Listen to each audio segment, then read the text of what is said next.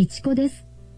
今日は2021年3月13日土曜日です。高松の天気は朝から雨で午後から少し晴れました。今日は三つ股です。三つ股の木を今頃よく見かけます。いつものようにウィキペディアの記事を読み上げます。読み上げ時に誤読があるかもしれませんが、ご容赦願います。わからない部分は動画にはめ込みます。では、どうぞ。三つ股。出店フリー百科事典ウィキペディアより。三つ股は冬になれば葉を落とす落葉性の低木であり、人長外科の三つ股属に属する。中国中南部ヒマラヤ地方が原産地とされる。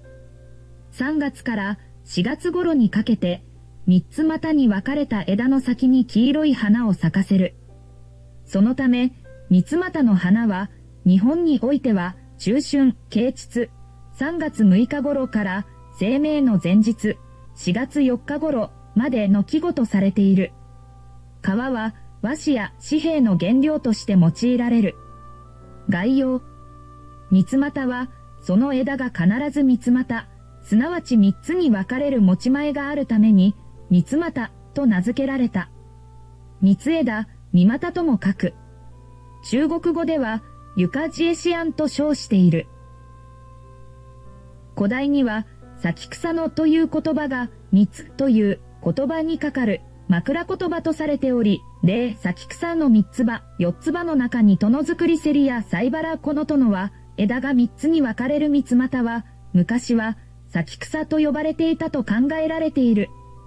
そう名付けられたわけとしては、三つ股は、あたかも春を告げるかのごとく、一足先に淡い黄色の花を一斉に開くため、そのゆえをもって、咲草と呼ばれたのだとの考えがある。ただし、他にも、三つ股が縁起の良い、吉兆の草とされていたため、咲草と呼ばれたのだとも言われる。最も古い妖霊である万葉歌人柿の元の人丸の大和歌では、春されば、まず咲草の咲くあらば、後にも、アハムナコヒソワギも。万葉集十巻1895。春になれば、まず先に咲く、咲草のように、咲き行く、筒がなくあることができたならば、後にまた会いましょう。恋しがらないでください。我が愛しい人よとあり、咲草という言葉のもとが、咲草とも、咲き草とも取れる表現となっている。いずれにせよ、この咲き草が三草、三草という性の語源とされる。園芸種では、オレンジ色から朱色の花をつけるものもあり、赤花蜜股と称する。利用。和紙の原料として重要である。蜜股が和紙の原料として登場するのは16世紀、戦国時代になってからであるとするのが一般的である。しかし、万葉集にもたびたび登場するよく知られた蜜股が和紙の原料として使われなかったはずがないという説がある。平安時代の貴族たちに、栄装領紙として愛用された、皮脂、眼皮、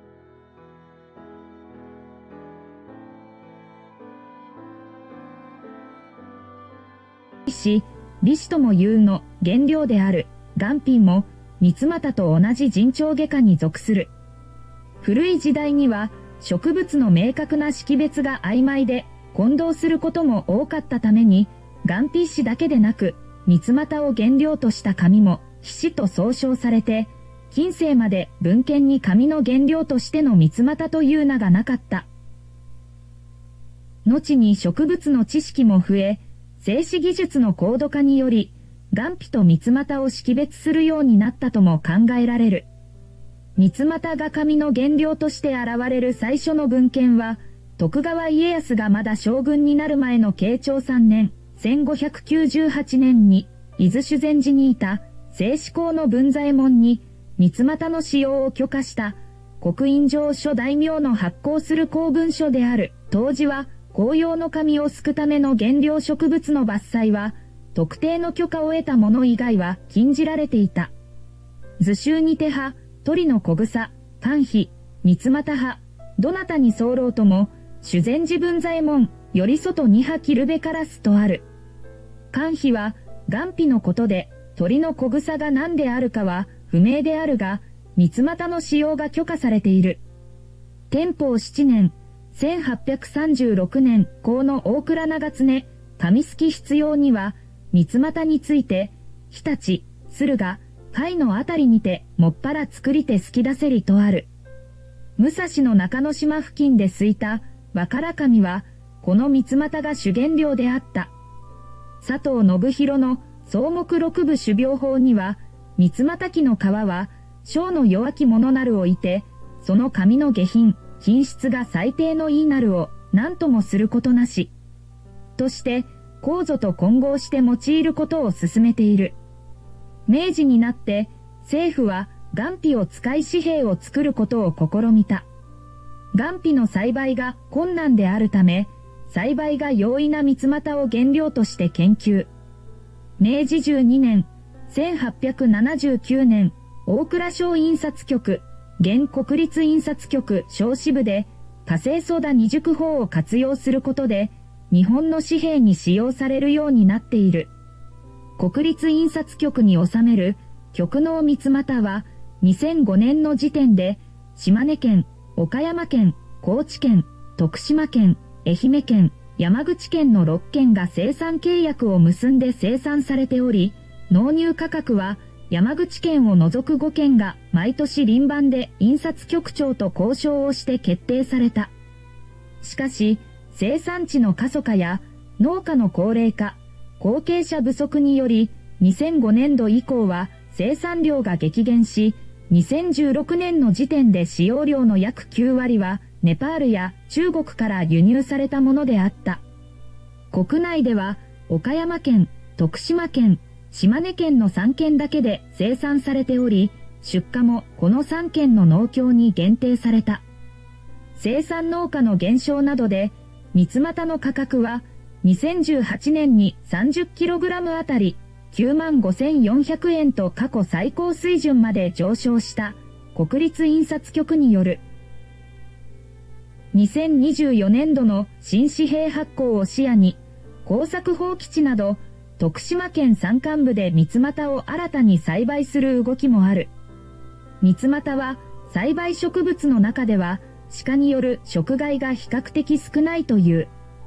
ネパールでの三つ股栽培や対日輸出は漢方販売などを行う企業漢方大阪市が支援している。手すき和紙業界でも野生だけで供給量の限定された元皮の代用原料として栽培し、現代の手すき和紙では構造に次ぐ主要な原料となっている。現代の手すき取りのこ和紙、ふすま紙は三つ股を主原料としている。徳島県では通常は廃棄される三つ股の幹を使った木炭とそれを成分とした石鹸が製造されている。耐用年数。平成20年度税制改正において法人税等の減価償却資産の対応年数等に関する省令が改正され、別表第4生物の対応年数表によれば、平成20年4月1日以後、開始する事業年度にかかる三つ股の法定対応年数は5年となった。以上で読み上げは終了いたします。はい、いかがだったでしょうか最後の動画は去年の3月10日に撮影したものです。はい。これで終了いたします。ありがとうございました。皆様に、幸、多からんことをお祈りしております。